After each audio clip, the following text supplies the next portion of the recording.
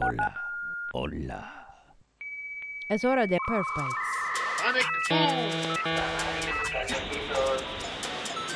¿Qué carajos es Perf Bites? ¡Te vale 50 pesos! ¡Te vale 50 pesos! ¿Se da 20 tacos con todo? Bienvenidos al podcast de Perf Bites en español. Hola amigos, bienvenidos a otro episodio de este su podcast favorito, preferido, consentido de Perf Bites en español, donde nos dedicamos a platicar muchos temas de performance y a traerles algunos invitados especiales, como es el día de hoy, que tenemos a nuestro amigo eh, Rodrigo Campos, eh, que viene a visitarnos y a platicarnos un poquito del amigo Rodrigo. Bienvenido, ¿cómo te encuentras? Muchas gracias, Alejandro. Y gracias por la invitación a tu show, Perfect. De verdad, lo, lo- lo sigo hace tiempo y no me pierdo ningún capítulo eh, de tus menciones y tu experiencia en performance. Hombre, eh, se, se agradece muchísimo, aunque lo hace sonar como que el show es hacia mí y no. Hoy en día, tú eres la estrella del show en Gracias. este episodio que vamos a tener. Y bueno, de entrada, para los que no te conozcan, no sepan quién eres, eh, pues platícanos un poquito de ti. Vale. Sí, mira, Rodrigo Campos por acá, Don Tester, ese es como mi nombre en YouTube y en redes sociales. También me pueden buscar ahí. Eh, soy padre de una hija, tiene siete años actualmente. Eh, vivo en Santiago de Chile. Eh, me he dedicado prácticamente desde que salí de la universidad en testing, pero también tuve como un quiebre. Al principio fue eh, desarrollador COBOL, no sé si te suena COBOL como entonces empecé desarrollando en COBOL y por cosas de la vida me dicen, Rodrigo, necesitamos apoyo en un área que es de calidad, testing, quality assurance. Y fue como, vamos a ver de qué se trata. Bueno, en base a eso empecé como a indagar en realidad eh, qué significaba la calidad, Eh, buenas prácticas, metodología. Bueno, en ese tiempo en realidad todavía estábamos, Leandro, eh, en el final.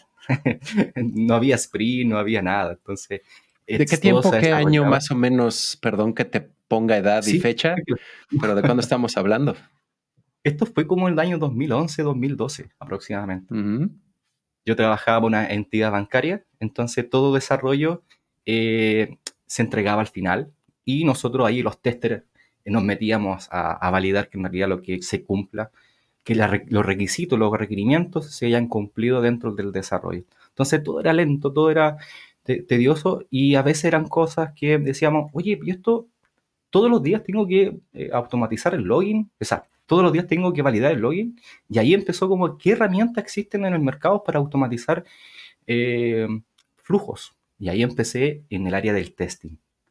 Ahí estuve bastante tiempo eh, desarrollando, testeando, igual hacía eh, funcional, ¿no?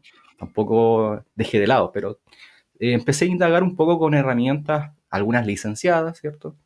En ese momento muchas herramientas eran licenciadas y eh, apareció en un momento Selenium. Y ahí empe- empecé como a, a indagar en herramientas de open source, a aprender un poco más de Java, patrones de diseño, eh, buenas prácticas, integración continua. De hecho, yo, decía, quiero integración continua. Y ahí me dijeron, Rodrigo, mira, necesitamos que ejecutes tus pruebas acá. Y hay un Jenkins, ahí está la URL. Y fue como, bueno, perfecto, vamos a aprender, vamos a aprender qué es lo que es Jenkins, qué es lo que es integración continua. Y luego de eso, en una oportunidad tuve, eh, bueno, yo creo que la inquietud, Leandro. Siempre veía a mis compañeros de otra área que se quedaban en la noche, eh, muchas discusiones con eh, de- los desarrolladores, eh, con arquitectos, y bueno, lo encontraba un poco como entretenido porque estabas aprendiendo. Entonces, ¿de qué, qué es lo que están hablando estos chicos? Y ahí empecé a entender que ellos estaban en el área de rendimiento, pruebas de rendimiento. Entonces, como yo trabajaba en, después me cambié a área, área de e-commerce, eh, dije yo, ¿qué tipo de pruebas están haciendo? Empecé a investigar hasta que eh, estaban haciendo pruebas de performance. Y fue como, ¡oh, qué entretenido! Bueno, traté de que eh, ingresar a ese, ese grupo, me costó bastante, hasta que en un momento me dieron la oportunidad y decir, Rodrigo, eh, necesitamos tu ayuda. Eh, se nos viene un evento, eh, obviamente acá en Chile se llama Cyber Day, Eh, en otros países se llaman, tienen otro nombre, como Black Friday, por ejemplo. Y, listo, eh, vamos a ver qué, cómo podemos solucionarlo sin ningún conocimiento, solamente leyendo, levantando la mano, así como, eh, amigo, necesito que me ayude a entender cómo funciona esta parte del código o cómo extraer información dentro de una página. Así que empecé de esa forma, Leandro, muy básico, hasta que hoy día ya, eh, bueno, en un momento ya empecé a liderar equipos de, rendimiento para hacer pruebas tanto de, de frontend y de backend. Así que fue bastante entretenido y, nada, pues ahora sigo aprendiendo, sigo leyendo y la tecnología sigue avanzando. Antes, no sé, a 10 años atrás, observabilidad. No había observabilidad. la observabilidad era ir al sótano, a conectarte a los computadores Windows a los servers y colocar ahí, eh, no sé, colocarle, ver la memoria y la, CPU. Esa era la observabilidad. Pero hoy día hay muchas herramientas que en realidad nos ayudan y la tecnología avanza. Entonces, así ha sido mi, ruta de aprendizaje en realidad, mi, journey de, de, cómo inicié desde de, de COBOL a hacer ya eh, eh, técnicas lead en performance. Y ha sido bastante satisfactorio, de, aprendido bastante y el mundo también eh, me ha dado esa oportunidad de, conocer a otras personas, como tú, Leandro. Oye, y por ejemplo, en, en lo que platicabas ahorita me da muchísima curiosidad antes de entrar a más temas de testing y de performance. Eh, ¿Cómo fue que fuiste a dar a COBOL? Porque no es tan común en estos días que alguien, uh, sobre todo de esta edad, acabemos haciendo COBOL. ¿Cómo, ¿Cómo fue eso? Sí, mira, eh, mi, experiencia con COBOL fue bastante particular. Eh, busqué un anuncio en, internet eh, donde necesitaban personas que quisieran aprender COBOL. Entonces, la, propuesta era bien entretenida. te contrataban por tres meses, te capacitaban en COBOL y una vez que si tenías éxito dentro de un examen, luego de tres meses, tú, que, tú quedabas como eh, eh, programador COBOL. Entonces todos mis compañeros, todos mis, colegas eran personas que ya tenían 70 años, 80 años, pero secos, nada que decir. O sea, ellos prácticamente nacieron con, con COBOL. De hecho, una de las cosas que siempre le preguntaba, oye, eh, ¿cómo empezaban a programar? No, empezamos a, programar con tarjetas perforadas. Y fue como, oh, qué genial la experiencia, porque hoy día no sé, pues llegar a eso, Leandro, no, impensable. Tienes que estar ahí, las máquinas en un museo, yo creo. Pero llegar de lo más bajo, en el sentido de tecnología, y ver cómo ha evolucionado la tecnología hasta hoy día, yo creo que es una experiencia demasiado grande a la gente que nos gusta la informática, nos gusta la tecnología. Entonces, y así empecé como en, todo lo que es COBOL. Bueno, lamentablemente, lamentablemente el proyecto eh, cerró y ahí cuando me dijeron, Rodrigo, necesitamos ayuda, eh, necesitamos que nos ayuden a hacer testing. Y ahí mis, mis tres meses o cuatro meses que después tuve, eh, no sirvieron entre comillas, pero me quedé con todo el conocimiento de cómo eh, el COBOL 6, cómo se programa, cómo se compila, es todo paso a paso, no como ahora, tú le colocas, no sé, un ejemplo, Maven, Maven Clean Install o Package, te olvidáis, eh, ahí, está todo listo. Pero acá no. Todo acá era todo secuencial, todo paso a paso. Sí, es, es una gran diferencia. Te doy una, anécdota. Dentro de cada vez que yo revisaba los códigos de COBOL, todos les colocaban las fechas. Yo la fecha más antigua que me encontré era 1978. Ahora, posiblemente había códigos más atrás, más antiguos, pero es el que estaba documentado y él fue el que yo pude, yo siempre lo tengo en la cabeza.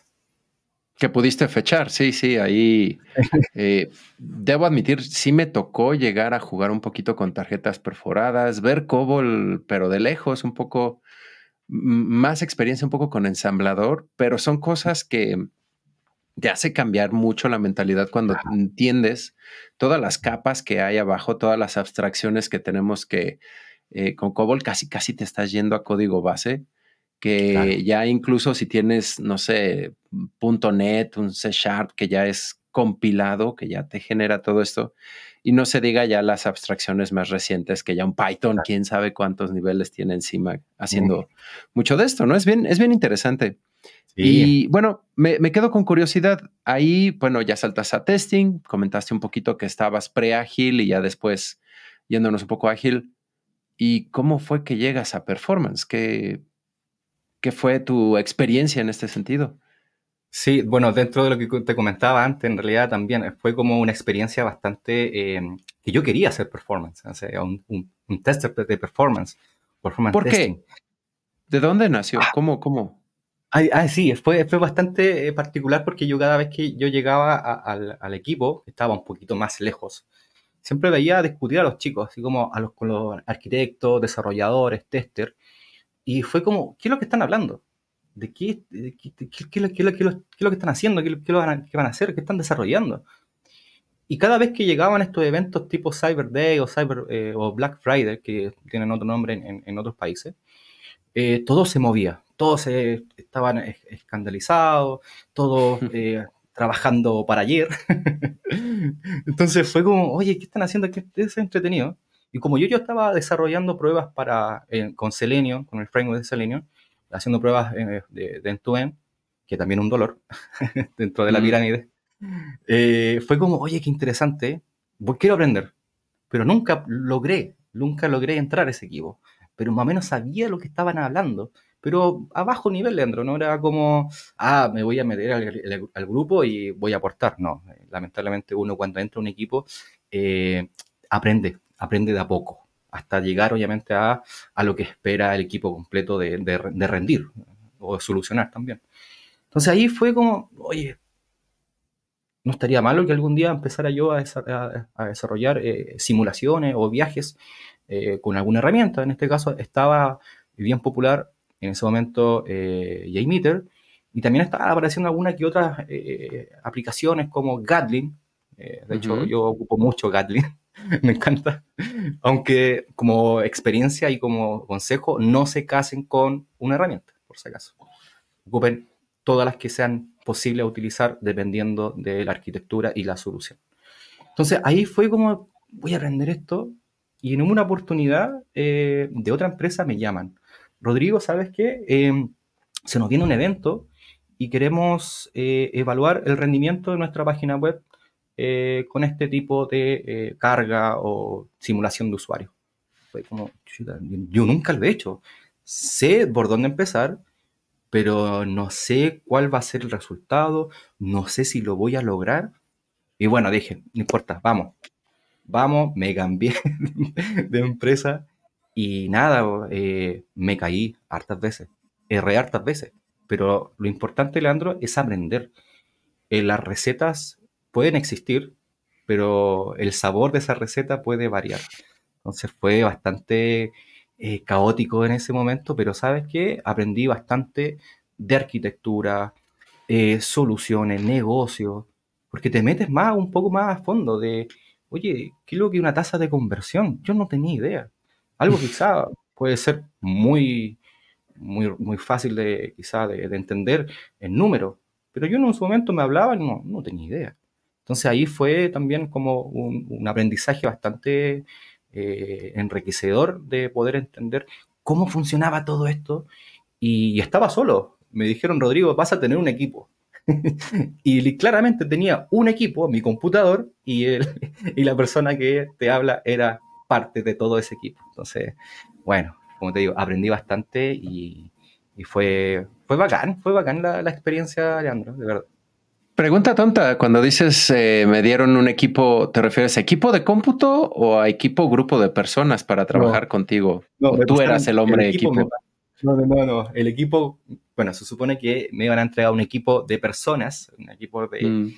eh, colegas para poder eh, empezar a desarrollar y entregar, hacer entregable para las pruebas.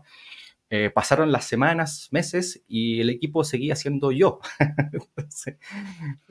pero mira, sabes que igual, independiente de eso, creo que igual uno tiene que sacar muy buenas experiencias de cada viaje que uno hace como nueva experiencia como te digo, yo me equivoqué en hartas cosas por desconocimiento, eh, quizás porque estaba quizás solo, o no también no tenía un equipo que me respaldara. Entonces fue bastante lectura, levantar la mano a mis otros colegas que estaban en otras empresas y mencionarles tengo este problema, cómo lo soluciono, o guíame, o pásame la, URL de la, aplicación para entender un poco. Y fue, bueno, como te digo, eh, fue caótico, pero de verdad fue una experiencia demasiado enriquecedora para mí en tema de experiencia y, lo que también logré después con el tiempo, de tener un equipo. Ahí, en el último eh, trabajo, tuve un equipo, dos chicos de India y dos chicos en Chile. Entonces, todo lo que yo aprendí como lo que erré, lo pude poner y trabajar para que mi equipo, eh, mi último equipo, funcionara correctamente. Pero... Ahora, en, mencionas que cuando ibas comenzando, eh, y como todo mundo, que cometiste varios errores y que pues, los fuiste puliendo, fuiste eh, mejorando. ¿Podrías platicar algunos de estos errores que dirías para alguien más que nos está escuchando y que va empezando, que no tropiecen con ellos? Sí, mira, yo creo que una de las cosas que siempre me recuerdo fue eh, la, sobre la infraestructura que tú ibas a utilizar para ejecutar tus pruebas.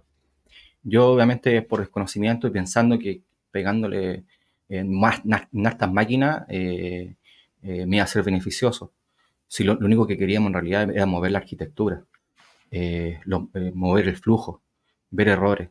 Eh, levanté una cantidad enorme de máquinas, Leandro, y después me llegó la factura. Entonces, mm. yo creo que también Estas pruebas ya estábamos hablando de nube, ¿no? Sí, estábamos ya en la nube, estábamos ejecutando en, el, en un provider de GCP, entonces, como te digo, levanté muchas máquinas, no debía haberlo hecho como experiencia, eh, y después encontré la fórmula. Eh, hice mis propios tests para ver qué tanto aguantaba en mandar eh, solicitudes, requests, usuario activo, hilos, que le llaman también en otra herramienta. Entonces aprendí. Claro, después me llegó la factura y fue, ¿por qué, ¿por qué me está llegando esto? No, no, tengo idea. Pero fue uno de los, de los problemas que después con el tiempo entendí. también cómo calcular la carga, eh, los, concurrentes, qué es lo que espera el cliente, porque eso también es importante, Leandro. ¿Qué es lo que espera el cliente? Y también guiarlo. A veces eh, el cliente lo único que quiere, y claro, a nivel de business, es que su aplicación funcione y venda. Perfecto. Pero para que venda tienes que tener muchas herramientas que te observen. Y ahí también el concepto de observabilidad eh, es muy importante porque te da una visión de qué es lo que está pasando atrás y cómo puedes mejorarlo. Hoy día la observabilidad es parte fundamental de una, prueba de rendimiento. Eh, a otros colegas les digo, mira, tú puedes hacer una prueba, sí, pero no vas a tener ningún beneficio si no sabes qué es lo que está pasando atrás. Tú tienes que analizar. Para eso existen las métricas, trazas, eh, logs. Entonces, para eso existen herramientas hoy día como Datadog eh, y otras que están también open source, eh, que te ayudan a visualizar eso y ver cómo está trabajando, si eso es lo que tenemos que buscar, ese punto de resiliencia del sistema. Y hoy día también, si lo vamos un poquito más lejos, quizás nos estamos alejando un poquito de la pregunta, Leandro, pero eh, quizás también las nuevas herramientas y tecnologías que hoy día están apareciendo eh, te ayudan también a tener otro feedback de, de, tu aplicación. Hoy día el Chaos Engineer o Ingeniería del Caos también te ayuda a detectar eh, y crear esa hipótesis y desconectar la máquina y ver qué es lo que pasa. Ahora, tú puedes ir jugando y haciendo experimentos.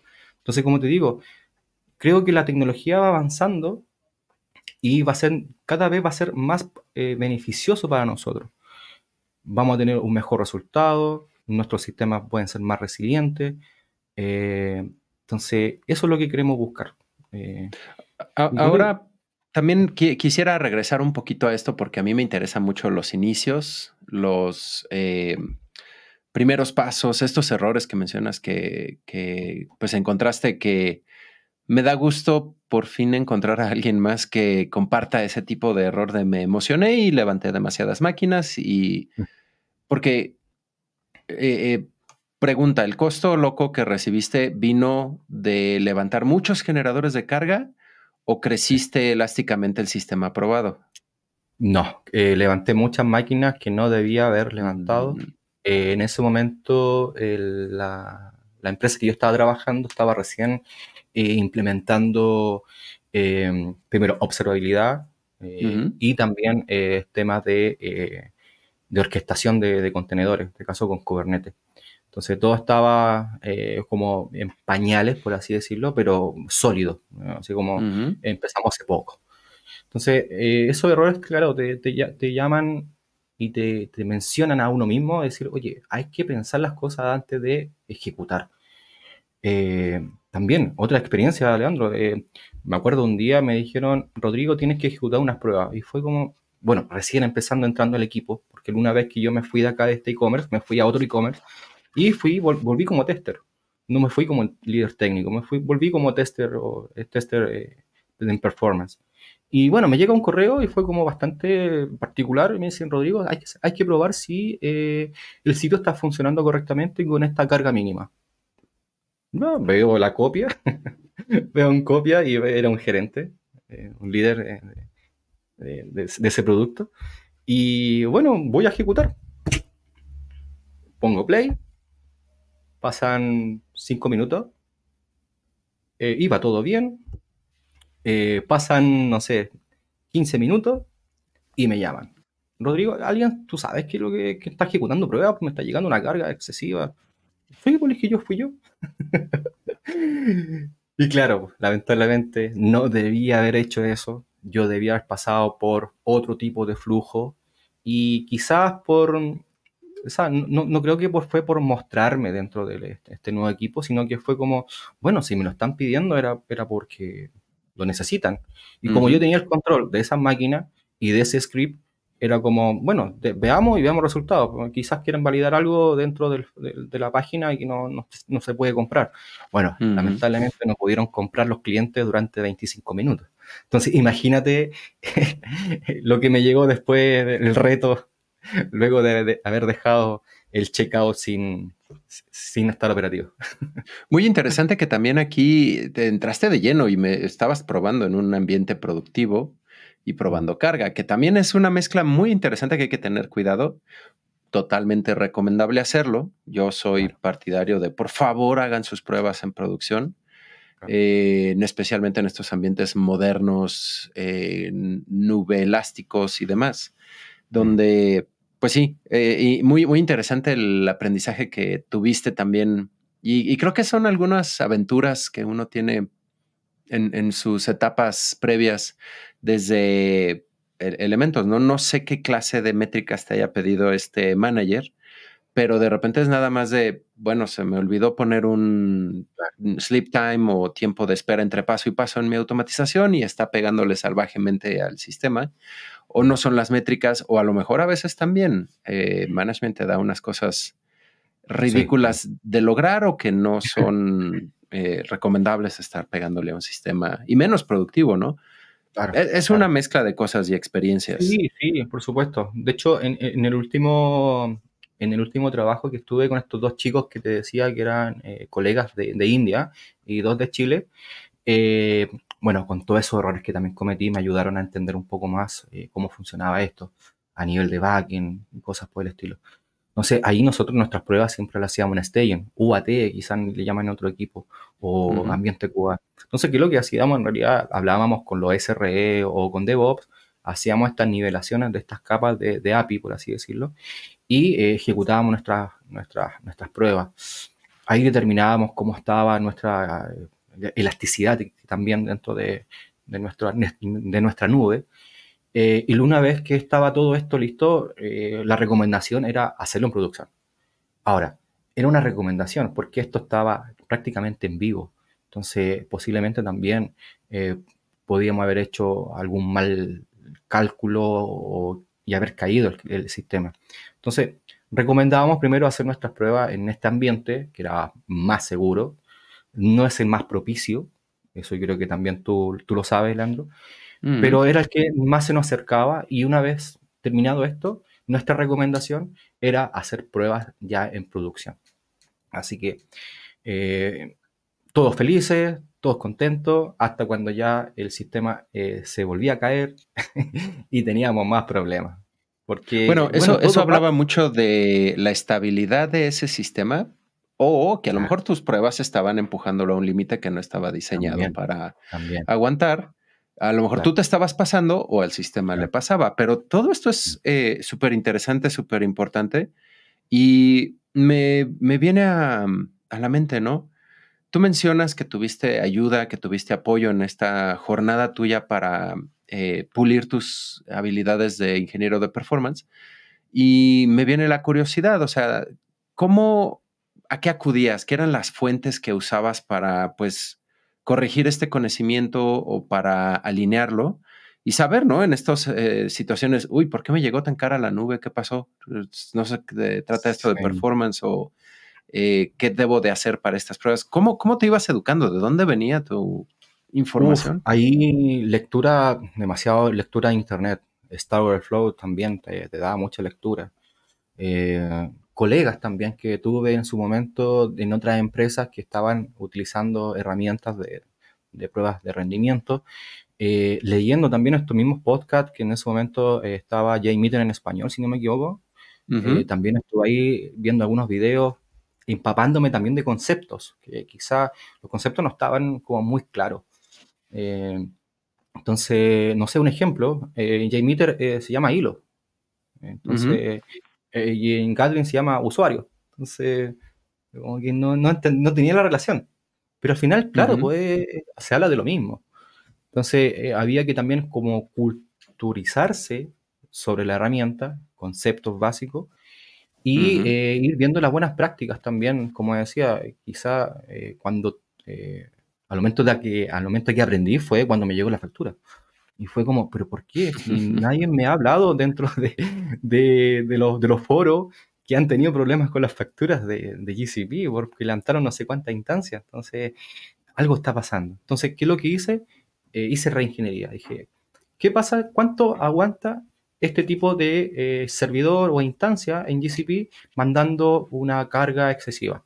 Entonces, ¿qué es lo que hice? Hice un endpoint, mi local, levanté la máquina y empecé a enviar hasta que se rompió. Listo. Acá está el límite y hasta, hasta aquí puedo utilizarlo.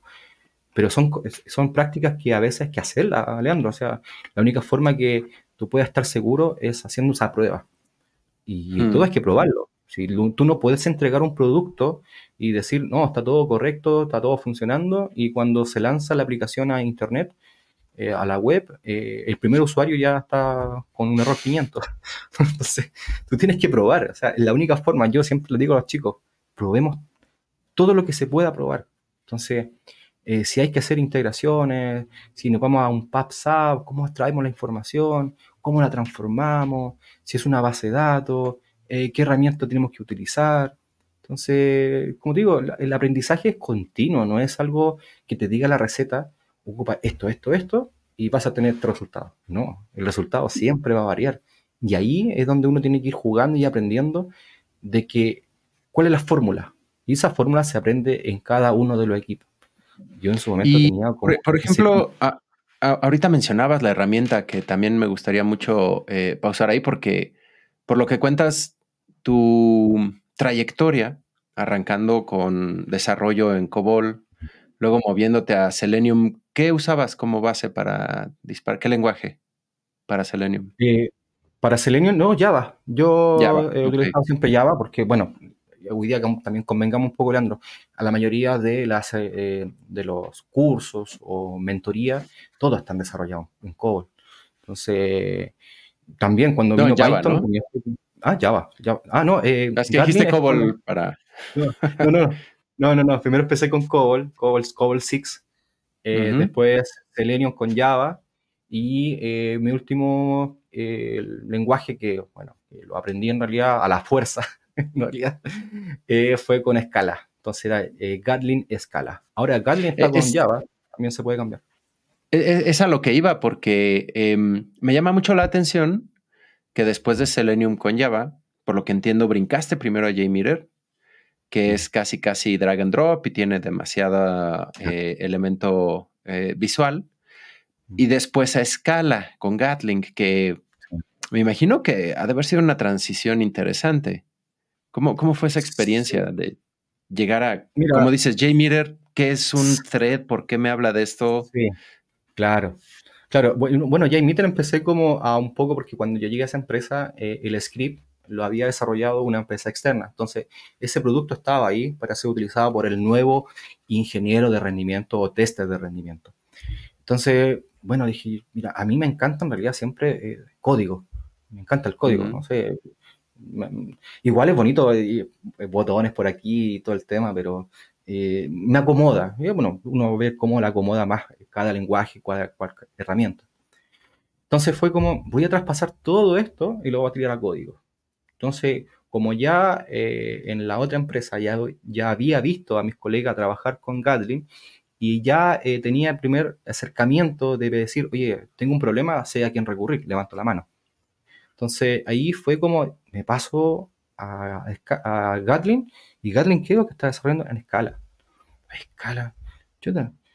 Entonces, cuando yo instanciaba un elemento, o sea, un, un era totalmente diferente con escala. Acá le colocábamos en escala val el elemento y lo que querías, listo. En cambio, en, Java era totalmente opuesto. Tenías que decirle que si era un string, un entero. No, esto ya te lo, te lo decía. Si tú estás colocando un elemento que es em, eh, número, ya, el numérico. Realmente ahí es, una, es un salto también interesante que mencionas, por ejemplo, programar o hacer cosas en Java. Eh, nos ha tocado mucho en K6 que, oye, pero quiero usar TypeScript porque JavaScript es demasiado laxo en ese sentido y me confunde, me genera errores. Scala también te permite un poco esta flexibilidad, que depende de quién le preguntes, puede ser más bonito o más batalloso que es, no sé, eh, eh, eh, es cuestión de gustos, pero me da mucha curiosidad o me, da gusto que tuviste esta experiencia, ¿no? De estar brincando de un, una herramienta, un ambiente a otro. Y que lo más importante por lo que rescato de lo que estás platicando es que fue entender los conceptos. Ya después, pues, y, y, creo que tienes toda esta ventaja de haber empezado a desarrollar el hecho de que tú creas software te da una visión, una perspectiva diferente para cuando ya tienes que probarlo, ya sea nada más una prueba funcional con Selenium, o ya tienes que hacer otro tipo de testing un poco más rebuscado, como es el performance con otras herramientas. Y bueno, y, toda esta trayectoria también me da mucha curiosidad. ¿Cómo nace Don Tester? ¿De dónde te surge esto? ¿Cómo? cuéntame, ¿de dónde fue ese mañana que te despertaste y dijiste, hmm, creo que voy a probar algo nuevo? Sí, mira, en realidad fue por un tema de necesidad, Leandro.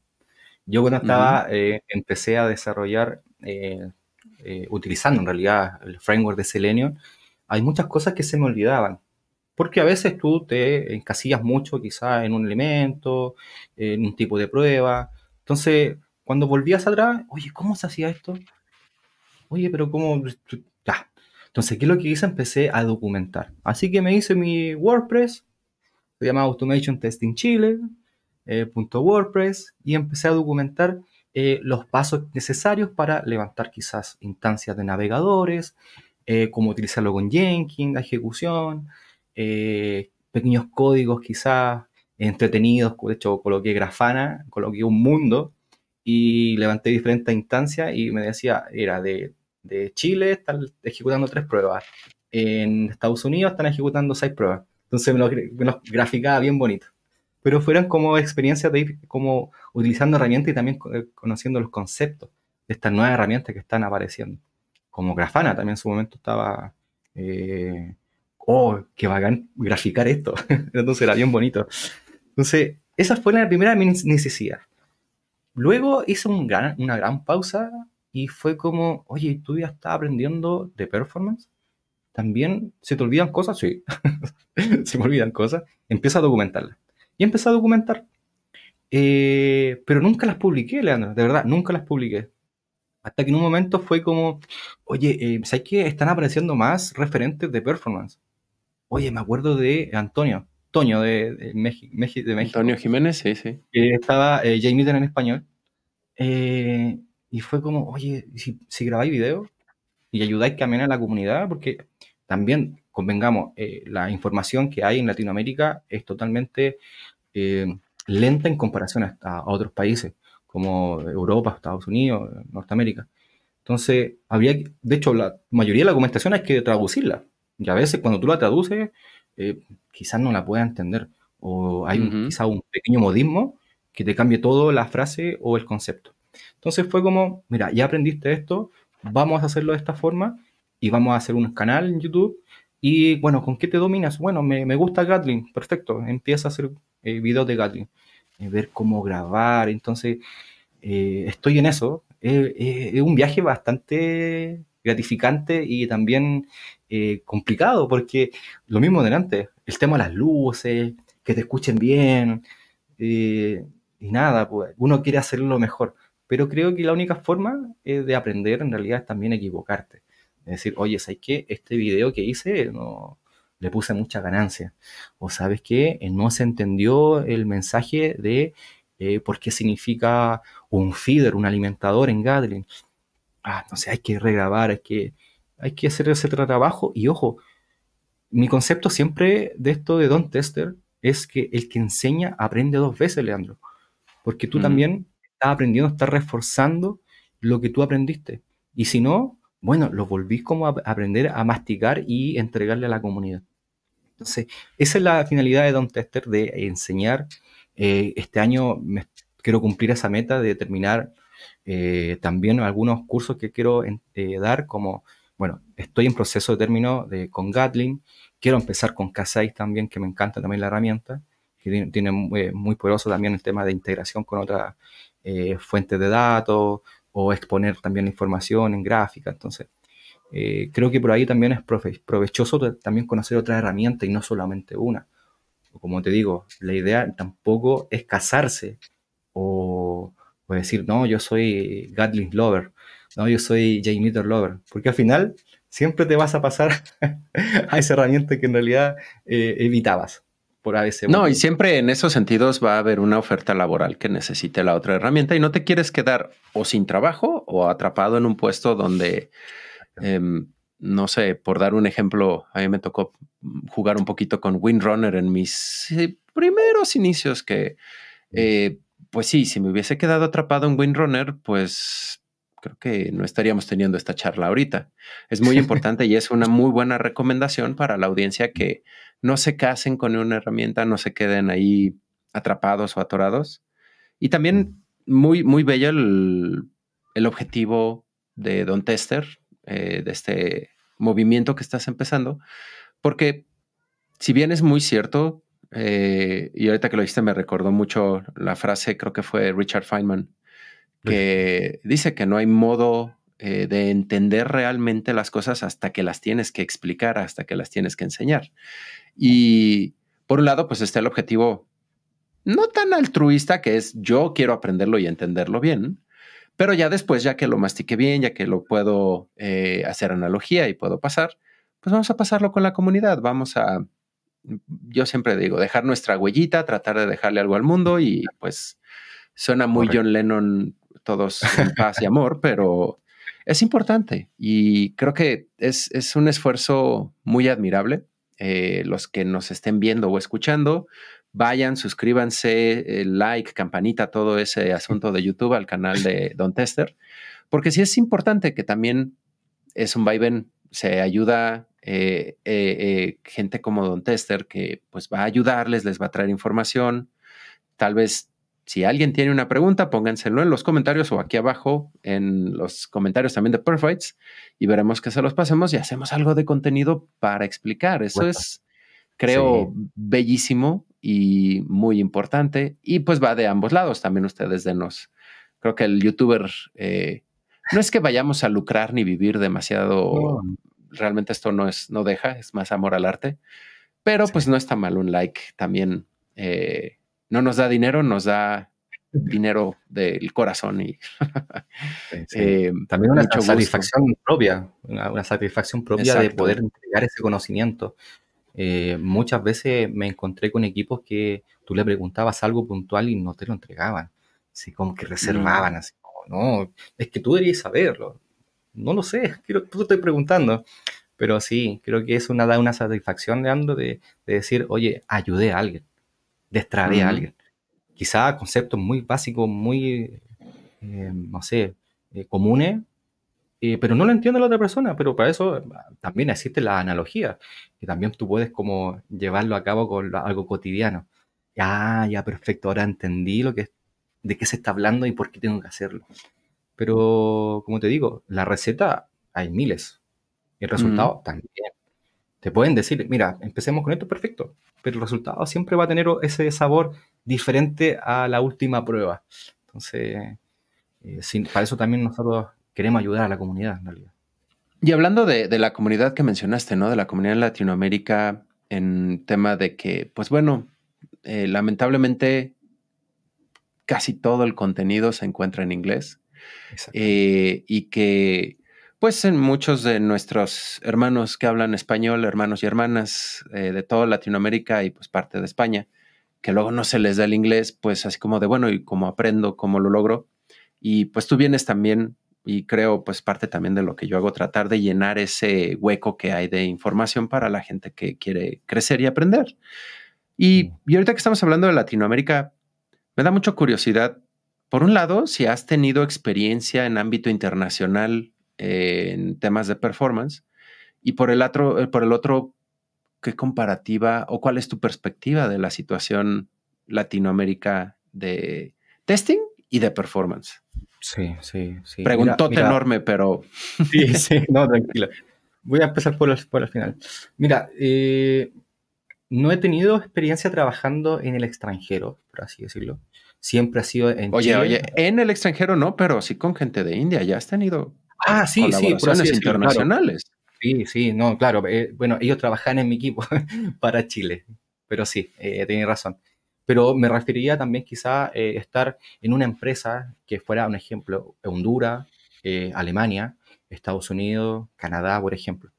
esas realidades también no, no las conozco de, de, así como intrínsecas, o sea, no las conozco eh, como, ah, yo estuve acá y sé cómo están trabajando. No, no podría decirte eh, cuál ha sido ese, ese, nuevo mundo de, decir, oye, ¿cómo están trabajando en, pruebas de rendimiento en Estados Unidos, Canadá, eh, no sé, se me ocurre, España, por así decirlo. No he tenido esa experiencia. Lo que sí te puedo decir, cómo lo está, lo que, mi visión que está pasando acá en Chile, es que las pruebas de rendimiento en realidad cada vez están teniendo un mayor impacto. Y ese impacto se ha ido reflejado cada vez que hay un evento, que lamentablemente, lamentablemente, es cuando ahí se acuerdan que existen este tipo de pruebas, que son las pruebas de rendimiento. Porque se cayó el sistema, no pudieron comprar, el usuario tuvieron que colocar una pasarela de tipo de, de numeritos que una fila, ahí se empiezan a acordar para estos eventos. Yo creo que las pruebas de rendimiento tienen que ser eh, en todas las fases. Siempre estar testeando, viendo números, métricas, viendo si escala, viendo los errores, eh, optimizando quizás también eso, ese Kubernetes, por así decirlo. Eh, ¿Qué nos falta? Oye, orquestación, mira, hay una nueva tecnología. Oye, no tenemos el tiempo. Bueno, ocupamos una herramienta que sea low code de de rendimiento. Entonces, eh, cada vez se está sumando más. Eh, la pandemia también nos dijo, oye, tu sistema no, está, mm. No funciona. no funcionan correctamente. Entonces, eh, y también los eventos que hoy día también se hacen en Chile, como el Cyber Day, también, bueno, se hacen dos veces al año, por si acaso. Uno en marzo y uno como en noviembre o octubre, noviembre aproximadamente. Oye, qué suertudo, solo tenemos uno nosotros. sí, oh, no sabía. No sabía. El buen fin le llaman acá en México, pero que, te trae situaciones similares, ¿no? De, Mira, ahorita voy a hacer un, hincapié pequeño que dices, ¿no? Que en Chile y también tal vez eh, Latinoamérica que no pone atención hasta que no les muerde el trasero, como decimos acá. Eh, pero eso es una situación un poco a nivel global. Me ha tocado verlo en cantidad de industria eh, en, muchos, muchos lados del mundo. Y creo que ahí más bien tiene que ver con la madurez del negocio en cuanto a tecnología, porque muchos dicen, ok, ¿para qué tengo? Y, y, ahorita diste un ejemplo que correr muchos generadores de carga en la nube y que sube la cuenta y que te llegó una cuenta interesante, espero no te hayas metido en muchos problemas por eso. Pero eh, que muchas organizaciones dicen, tengo la nube, ya no importa eso del performance, ya es, es elástico, siempre va a funcionar bien y no pasa nada. Pero pasa con su cuenta, pasa eh, y, y, conozco una historia de una empresa que quebró porque su producto principal dijeron, no importa el performance, está en la nube, todo bien. Y su cuenta de nube se volvió mayor a lo que facturaban. Entonces, bueno, ya no les alcanzó ni siquiera para hacer el performance. No tuvieron esta oportunidad de pivotear, como dices, eh, cuando se dan cuenta que tienen un problema. Ellos fue de, ups, ya valió y ya valió. Entonces, se, me hace muy interesante esta perspectiva que traes de, eh, el problema con performance, ¿no? La situación en Latinoamérica es un poco más global, aunque creo que todavía, y, no sé, mm, cuéntame tu perspectiva, ya que la, de Chile no lo tengo muy presente, pero cuando es performance, es esto, capacidad. Lo único que quieren ah, es seguir haciendo pruebas de carga y tratar de, pues ahora sí que tumbar el sistema. Sí, sí. Eso también es más concepto que se vende, sí, también, por Leandro. De hecho, si tú te metes a, una, empresa que está reclutando, eh, te dice, te, eh, load, tester. Entonces, ah, necesitan un tester de carga. Y tú decís, pero si es un tipo de prueba. No sé, lo mm. único que quieren es... ¿Qué, es? Sí, a, grandes rasgos es lo que management está acostumbrado a pensar cuando dicen performance. Ese, ese, concepto también como que también eh, erra a las personas que, también quieren eh, aprender y entender un poco de las pruebas de rendimiento. Eh, entonces, a veces hay que hacer hincapié. Yo no Osorio siempre dice, no todo es prueba de carga, no es prueba de... Entonces, eh, performance no es carga. Entonces, también ese concepto a veces se, se, malinterpreta porque, claro, tú vas a la web, a la nube, y dices, ah, mira, está en un anuncio acá de, un nuevo puesto de trabajo y necesitan un tester de, de prueba de carga. Mm. Como, chuta, ¿estoy equivocado? ¿Estoy mal? ¿Estoy mal enfocado? ¿No eran pruebas de rendimiento? Sí. Ahí está no, y además en, muchas de estas organizaciones eh, se van derecho a carga eh, y, ya son organizaciones que están intentando implementar liberaciones continuas, eh, metodologías ágiles, DevOps, todo esto, y son excluyentes. Si te enfocas solo en carga para tus pruebas y sprint, cada sprint, es, un relajo. Llevo desde 2017, que a lo mejor ahí el problema soy yo, que ya llevo siete años repitiendo acá en, desde que empezó Señor Performo, performance no es carga y tienen que hacer muchas otras cosas. Mm. Y sobre todo hoy en día con estas nuevas metodologías, que si se enfocan a solo carga, mucha suerte con eh, no volverse el cuello de botella cada sprint. y este, este tipo de experiencias y aprendizajes, yo sé, ya para ir cerrando un poquito, que te llevaron, dado que el año pasado estuviste como eh, jugador local en este evento que fue el Whopper. Sí, Platícame un poquito de tu experiencia con el Whopper, porque también ese me da mucha, mucha curiosidad. Yo no pude ir, me lo perdí, y pues sí. Eh, spoiléamelo. No, no, no, nada, sí, te lo voy a decir. Mira, estuvo muy entretenido. Y te voy a ser bien sincero, Leandro. Yo iba con una expectativa y dije, mm, me voy a aburrir. iba quizás con eso, que me iba a aburrir. Todo hablando de esto. Pero ¿sabes qué, Leandro? Terminó y yo seguí hablando. Hacíamos break con los chicos en el almuerzo, eh, en happy hour, y seguíamos hablando de lo mismo. O sea, nunca me aburrí, fue muy entretenido. Chicos de Uruguay, Argentina, Colombia, eh, bueno, eh, Toño que está en, Canadá. Eh, entonces fue bastante bueno, me gustó bastante como la dinámica y el juego que hubo. Ese tema de las tarjetas, cuánto vas a hablar, tarjetas verdes, amarillas, rojas, estuvo muy entretenido. Y ahí conocí también a, a Federico, obviamente presencialmente. Ya no estaba en, la web o en LinkedIn, no, ya, ya lo vi en persona y ahí pude charlar con él, intercambiar ideas, conocimientos y de verdad fue bastante enriquecedor y decir, oye, ¿cuándo esto vuelve? De hecho, una de las cosas que le decía a, Federico, oye, hay que seguir haciéndolo en español. ¿Viste la dinámica que hubo? Todos hablando, todos entendieron el concepto, todos entendieron los problemas que tuvieron, el, caso de éxito. Sí, Rodrigo tenía razón. Vamos a ver qué podemos hacer el, próximo año con el, con el que creó el, el Whopper. Porque esto fue el 2022, si no me equivoco, el Whopper se hizo en el Uruguay. El 2023 se hizo en Chile y ya como Latam o en español. Pero estuvo genial, genial. muy, muy entretenido. Y, ahí, por ejemplo, última pregunta, ya para casi despedirnos, referente a la performance. ¿Cuál podrías decir que fue el elemento, detalle o aprendizaje más grande que trajiste del Whopper respecto a performance? Yo sé que es mucho, yo sé que es difícil, pero pon el que te venga, el favorito. Mira, yo creo que complementando un poco la pregunta que me hiciste anterior, cómo estaba Chile o, Latinoamérica en, temas de performance, yo iba con una expectativa que, que iba a decir, oye, ¿cómo estoy yo como el líder o technical lead en performance en mi equipo? ¿Estoy bien? ¿Estamos bajo? ¿O nos falta?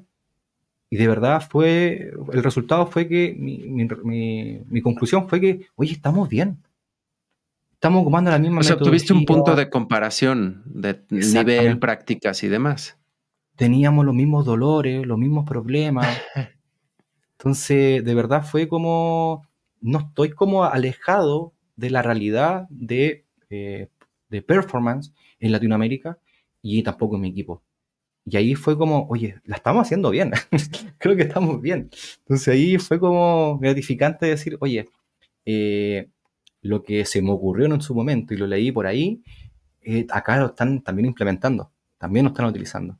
Entonces, fue eso, fue eso como ese punto de comparación. De hecho, a todos les preguntaba, oye, ¿cuál es tu dolor? Y también hice, hice algunas dinámicas. Le hice como una pizarra y coloqué eh, QA, staying, prod. Ya, y ahí cada uno colocaba un punto donde a él le, encantaría ejecutar pruebas. Y todos estaban mm. casi al medio. Habían poquito en producción, eh, muchos tanto en la parte intermedia y muchos en la parte ya eh, como entregables eh, de integración continua, así como en, ambientes bajos, por así decirlo. Mm, shift left y todo esto. Sí, pero como dice, me encontré con esa comparativa porque igual quería saber si, si lo que yo estaba dictando a mi equipo eh, iba al caso, quizás estaba errando. Y fue, no, fue como, oye, estamos bien, estamos, vamos bien encaminados, no, no hay como punto en comparación. De hecho, mi equipo también fue, mi equipo también fue al, al Whopper y también eh, previamente a, la, a, los breaks que hacíamos, nos preguntábamos, oye, ¿te das cuenta que estamos bien? Estamos utilizando la misma herramienta, la misma metodología, la misma forma de testear. Eh, no todo es carga. Entonces estamos haciendo otro tipo de pruebas. Y decíamos, estamos bien, viejo, estamos excelentes en lo que, en lo que ya la TAM, porque yo no conocía, no sabía la realidad de, Colombia, de México, Uruguay, entonces, como te digo, el Whopper te entrega todo eso, esa base de conocimiento, experiencia, que al final tú lo tienes que adoptar y obviamente sacar lo mejor de cada uno y adoptarlo a tus necesidades. Pero fue bastante bueno, así que yo creo que tienes que ir el próximo Whopper, no te lo puedes perder. Ay, sí, no sé. estamos viendo, estamos viendo. El, Bueno, como ven, eh, una trayectoria de nuestro amigo señor Tester, bueno, no señor Tester, eh, Don Tester, porque también ahí tenemos eh, ya tomado el otro nombre. Eh, ojo, ojo, es Don Tester, no señor Tester. Digo, también señor Tester, vayan a ver, también es una muy buena fuente de contenido y conocimiento. Todos somos una comunidad, eh, pero hoy estamos platicando con nuestro amigo Don Tester, Don, Don.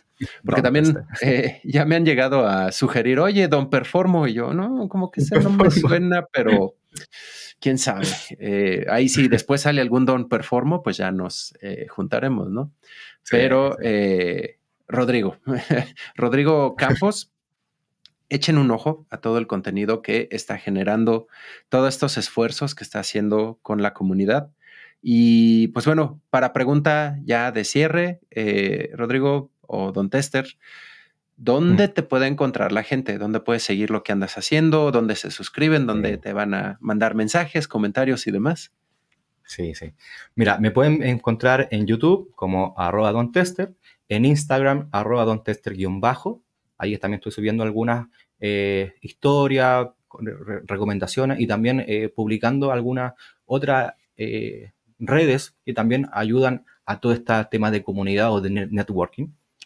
también me pueden buscar en, Medium como arroba Rodrigo, Rodrigo Campos. Ahí también estoy en Medium subiendo mucho contenido, mucha analogía, conceptos básicos que también lo pueden leer. Y en LinkedIn, eh, Rodrigo Campos Tapia, me pueden encontrar. Ahí también, si tienen alguna duda, inquietud, están empezando con performance, no saben qué, lo que, qué herramienta, eh, quizá una inquietud, háganmelo saber. Yo eh, feliz ayudarlo y aportar con ese granito de arena o impulso en realidad para que para que todo lo que es el área de, performance y comunidad crezca en Latinoamérica.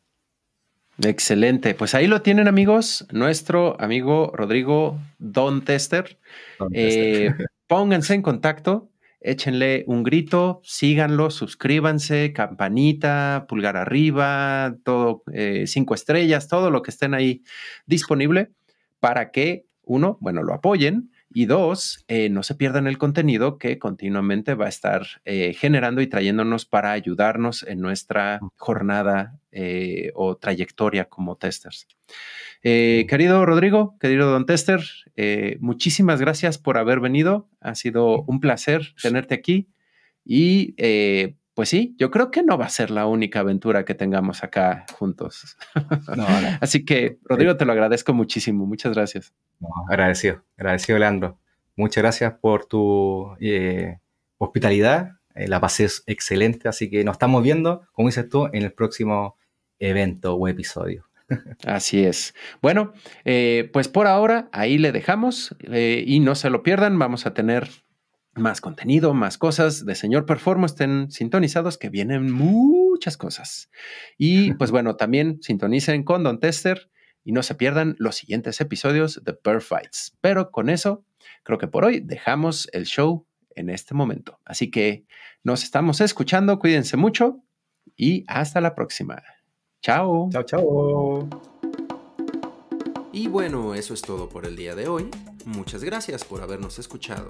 No se olviden de darnos sus likes en Facebook, seguirnos en el Twitter, mandar comentarios en email, ni de visitar nuestras páginas. Cuídense mucho y nos estamos escuchando. Adiós, Leandro. Adiós, Leandro. Bueno, bienvenido.